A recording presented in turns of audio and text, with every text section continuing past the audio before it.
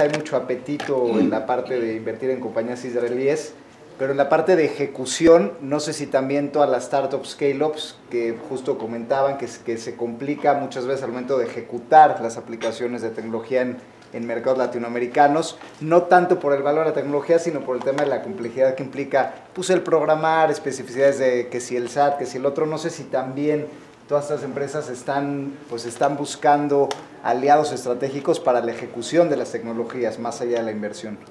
Justo, ese es, ese es em, justamente una de de las áreas más eh, interesantes, porque en el momento en que está la inversión, claro, y, se, y está la potencia, ¿cómo llegas a estos mercados?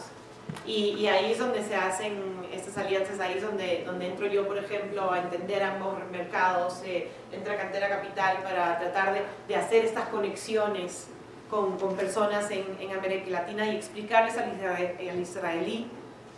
cómo es que se hace, cuál es la mejor manera de, de, entrar al mercado, ¿no? Igual